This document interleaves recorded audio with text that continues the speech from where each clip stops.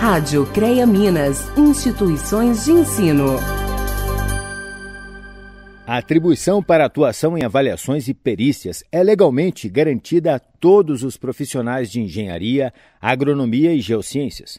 Este é um segmento da área tecnológica que disponibiliza muitas oportunidades, mas o trabalho exige conhecimentos específicos, já que há demandas nas esferas judiciais, extrajudiciais e em modelos alternativos de soluções de conflitos, como conciliações, mediações e arbitragens.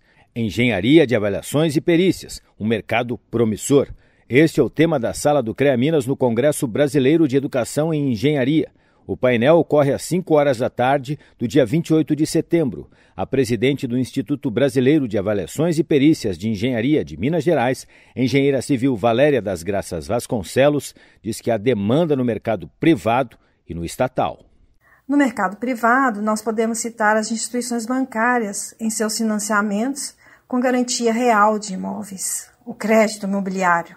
Na esfera judicial, é alta a demanda por profissionais especializados que estejam aptos a auxiliar os magistrados nas decisões técnicas das matérias em litígio, os quais eles não estão formados para decidir.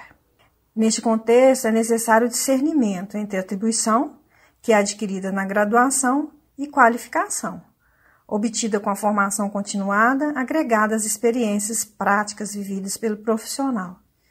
Assim, se vê com clareza a importância de se buscar aperfeiçoamento. Esse aperfeiçoamento pode ser alcançado através de participação em cursos, seminários, workshops, congressos, podendo, para não dizer devendo, chegar à pós-graduação e, por que não, ao doutorado e mestrado. Membro do Colégio de Instituições de Ensino do CREA Minas, o engenheiro eletrônico e de telecomunicações Breno Augusto Ribeiro Aredes vai mediar o painel. Ele reforça o conceito de aprendizado ao longo da vida. O lifelong learning, o aprendizado ao longo da vida, transforma a ideia de que o aprendizado termina quando se recebe um diploma de graduação. E isso é fundamental para que os profissionais se mantenham atualizados e competitivos na carreira que almejam.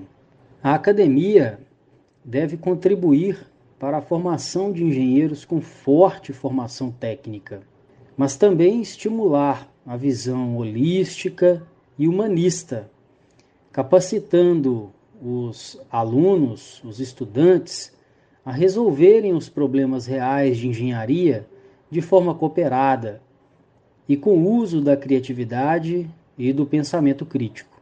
Breno reforça que a formação por competências é algo que está enraizado nas diretrizes curriculares nacionais do curso de graduação em engenharia, publicadas em 2019 pelo Conselho Nacional de Educação ligado ao MEC. As diretrizes preconizam a importância de estimular a formação de engenheiros empreendedores. Ao longo da formação, os futuros profissionais também são estimulados a se aproximarem dos problemas reais da sociedade. Também participa do painel o engenheiro mecânico Carlos Alexandrino, professor da Universidade Federal dos Vales do Jequitinhonha e Mucuri, com experiência em perícia e avaliações.